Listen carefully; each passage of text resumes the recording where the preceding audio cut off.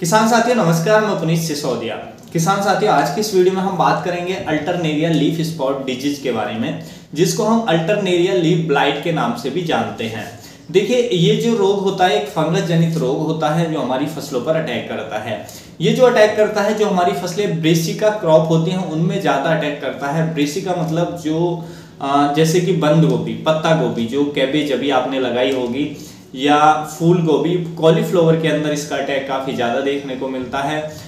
Broccoli के अंदर देखने को मिलता है इसका जो अटैक है कोलरबी के अंदर देखने को मिलता है, मूली की फ़सल के अंदर भी इसका कुछ इन्फेक्शन हमें देखने को मिल सकता है। तो ये जो फ़सलें हैं, इनमें इसका इन्फेक्शन काफ़ी ज़्यादा देखने को मिलता है, जो अल्टरनेरियल लीफ स्पॉट डिज़ीज़ है। तो देखिए, आज की इस वीडियो में हम इसके बारे में डिटेल में समझेंगे कि इसको आइडेंटिफिकेशन आप कैसे करेंगे, यानी कि क्या इसकी पहचान होती है, क्या इसके सिम्टम्स होते हैं, और ये कब हमारी फ़सलों पर अटैक करता है, कितना ये नुकसान हमारी फ़सलों को पहुँचा सकता है, और इसको कैसे कंट्रोल करना है, इसके कंट्रोल के लिए जो बेस्ट फपूंदी नाशक हैं उनकी भी हम इस वीडियो में बात करेंगे। तो वीडियो काफ़ी इन्फॉर्मेटिव होगा। वीडियो को लाइक कीजिएगा चैनल पर नए हैं तो सब्सक्राइब कीजिएगा और ज़्यादा से ज़्यादा इसे शेयर भी कीजिएगा अदर फार्मर्स के साथ, ताकि ये जो इन्फॉर्मेशन है उन तक भी पहुँच सके और वो भी इससे कुछ लाभ उठा सके। तो चलिए जानते हैं। देखिए अल्टरनेरिया लीफ स्पॉट डिज़ीज़ जैसा कि मैंने बताया कि किन फ़सलों के अंदर देखने को मिलता है बंद गोभी, फूल गोभी ब्रोकोली कोल रबी और जो हमारी केल क्रॉप है, उनके अंदर हमें ये देखने को मिलता है। तो देखिए, इसमें क्या होता है? सबसे पहले ये जो एक फंगस जनित रोग होता है, ये जब हमारा टेम्परेचर डाउन होता है 30 डिग्री सेल्सियस से नीचे टेम्परेचर होता है, और क्या होता है उस टाइम पे कि हमारी जो पत्तियों पर जो पानी है की बूंदें हैं, वो लंबे समय तक जमी रहती हैं फ़सलों की पत्तियों पर। जैसे कि जब टेम्परेचर अभी का डाउन चल रहा है तीस और नाइट का टेम्परेचर तीस डिग्री सेल्सियस से नीचे जा रहा है, और अभी क्या हो रहा है कि ओस पड़ती है, ओस की वजह से जो पत्तियाँ हैं, वो गीली रहती है, नम रहती हैं। तो ये फंगस जर्मिनेट होकर के हमारी फ़सलों को इन्फेक्टेड कर सकती है। ये इसके लिए अनुकूल वातावरण है जो अभी चल रहा है। तो ये हमारी फ़सलों पर अटैक करती है। इसका अटैक जो होता है, सबसे पहले फ़सल की पुरानी पत्तियों पर देखने को मिलता है। यानी कि जो सिम्टम्स हैं जो इसके लक्षण हैं, वो नज़र आते हैं नीचे की पत्तियों पर। बंद गोभी, फूल गोभी में आप देखेंगे कि नीचे की जो पत्तियाँ हैं, उन पर इसके सिम्टम्स नज़र आएँगे। सिम्टम्स कैसे नज़र आते हैं कि शुरुआत में पिन के आकार के छोटे छोटे धब्बे आपको नज़र आते हैं पिन के टाइप के। धीरे धीरे जो धब्बे हैं, वो बड़े होने लगते हैं। और जब ये धब्बे बड़े होते हैं तो आप देखेंगे कि इनमें क्या होता है आ, बीच में ये ब्राउन कलर के आ, काले भूरे रंग के होते हैं धब्बे और उनमें एक सर्कल सा होता है रिंग टाइप में आपको देखने को मिलेंगे धब्बों के अंदर। आ, जो रिंग छल्ले के टाइप में देखने को मिलेगा तो समझ जाइए कि अल्टरनेरिया लीफ स्पॉट डिज़ीज़ है और बाद में उस धब्बों के चारों तरफ़ पीलापन भी आपको देखने को मिलेगा। तो इस तरीके से आप इसको आइडेंटिफाई कर सकते हैं। इस तरीके के सिम्टम्स हैं तो समझ जाइए कि अल्टरनेरिया लीफ स्पॉट है। यानी कि जब धब्बे बड़े होते हैं तो आप देखेंगे कि उसमें ब्राउन कलर का धब्बा होगा बीच में और चारों तरफ़ पीलापन होगा पीला आभा मंडल होगा और जो ब्राउन कलर का धब्बा है भूरे कलर का बीच में, उसमें रिंग के आकार के आपको छल्ले नज़र आ जाएँगे जब आप ध्यान से देखेंगे। तो समझिए अल्टरनेरियल लीफ स्पॉट डिज़ीज़ का अटैक है। जब ये धब्बे धीरे धीरे बढ़ते हैं तो पूरी पत्तियों को इन्फेक्टेड करते हैं। पूरी पत्तियाँ हमारी इन्फेक्टेड होकर के और पत्तियाँ गिर जाती हैं, झड़ने लगती हैं, जिससे हमारा प्रोडक्शन में काफ़ी बड़ा लॉस हमें देखने को मिल जा, मिलता है।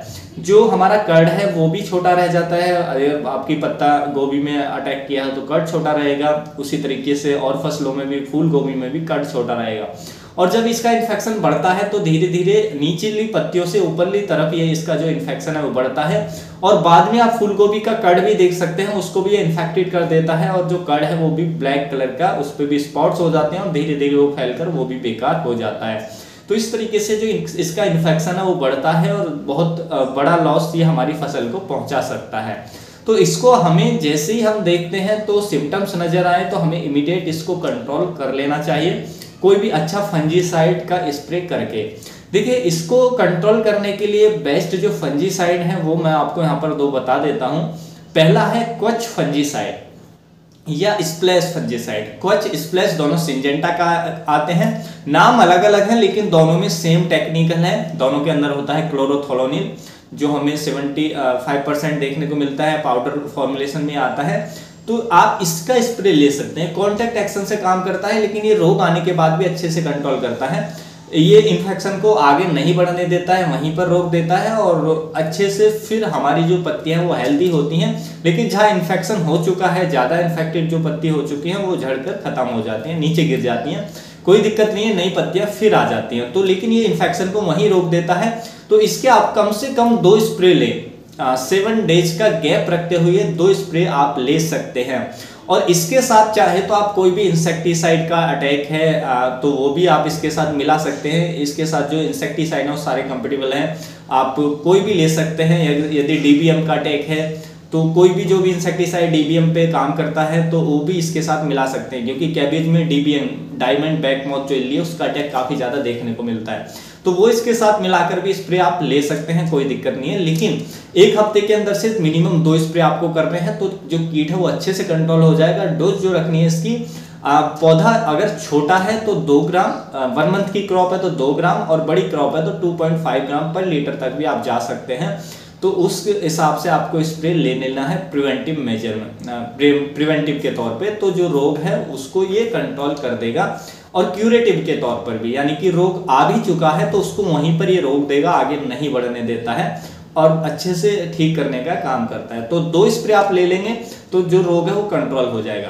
दूसरा आता है, एक और आता है एंट्राकॉल के नाम से जो बायर कंपनी का आता है, जिसमें प्रोपिनेव होता है टेक्निकल तो आप इसका भी स्प्रे ले सकते हैं, ये भी कॉन्टैक्ट एक्शन से काम करता है, ये भी वहीं पर जो डिज़ीज़ है उसको वहीं पर रोक देता है। तो इसके भी आपको दो स्प्रे लेने हैं सात दिन के अंदर से। तो चाहे क्वच ले लें, चाहे इसका एंट्राकॉल का ले लें। तो किसी का भी एक स्प्रे ले लें तो अल्टरनेरिया जो लीफ स्पॉट है, उसको वहीं पर ये कंट्रोल करने में इफ़ेक्टिव पाया गया है। तो देखिए जो एंट्राकॉल है, इसके जो डोज हमें रखनी होती है, वो रखनी होती है तीन ग्राम पर लीटर के हिसाब से। यदि क्रॉप बड़ी है और डिज़ीज़ आ चुका है तो तीन ग्राम पर लीटर। क्रॉप छोटी है तो 2.5 ग्राम पर लीटर तक आप जा सकते हैं, कोई दिक्कत नहीं है। तो ये जो दोनों मैंने फंजीसाइड बताई, अच्छे से जो अल्टरनेरिया जो हमारा लीफ स्पॉट या अल्टरनेरिया लीफ ब्लाइट हम कह लें, इसको अच्छे से कंट्रोल करता है। तो इसके लिए ये स्प्रे आप ले सकते हैं। थोड़े से आप क्या कर सकते हैं कि जो पत्तियाँ गिरती हैं मान लीजिए जो इन्फेक्टेड पत्तियाँ हैं, वो बाद में झड़ेंगी ही, क्योंकि वो ठीक नहीं होती हैं जिनमें इन्फेक्शन फैल चुका है। तो वो झड़ जाएँगी, आगे इन्फेक्शन आपका नहीं बढ़ेगा, पौध, जो आपकी क्रॉप है, पौधा है हेल्दी ग्रो करने लगेगा। लेकिन जो पत्तियाँ गिर चुकी हैं, उनको आप उठा करके उस खेत से बाहर निकाल दें, खेत में ना छोड़ें। क्योंकि जो पैथोजन है उन पत्तियों के ज़रिए आपके खेत के अंदर पहुंचेगा और लंबे समय तक जीवित रहेगा। फिर आप नेक्स्ट क्रॉप लगाते हैं। अगली बार जब भी कोई भी स्कूल की फ़सल लगाते हैं तो उसमें जो इन्फेक्शन है वो फिर से आने के चांसेस हो जाएँगे। फिर से उन, उस फ़सल को फिर के से ये जो पैथोजन है इन्फेक्ट करेगा। फिर आपकी फ़सल में ये रोग देखने को मिलेगा। तो इसलिए जो भी आपके अवशेष बचते हैं पत्तियाँ गिर जाती हैं उनको खेत से बाहर निकाल करके छोड़ दें जिससे ये आगे हमारा सॉइल में जो पैथोजन है वो जीवित ना रहे। तो इस तरीके से आप इसको आसानी से कंट्रोल कर सकते हैं। तो उम्मीद है किसान साथियों, जो आज की जानकारी है आपको अच्छी लगी होगी। जानकारी अच्छी लगी तो वीडियो को लाइक कीजिएगा। ज़्यादा से ज़्यादा फार्मर के साथ इसे शेयर कीजिएगा ताकि उन तक भी जानकारी पहुँच सके। मिलूँगा मैं आपको एक और नई वीडियो में नई जानकारी के साथ। तब तक के लिए आप अपना ख्याल रखिएगा। धन्यवाद।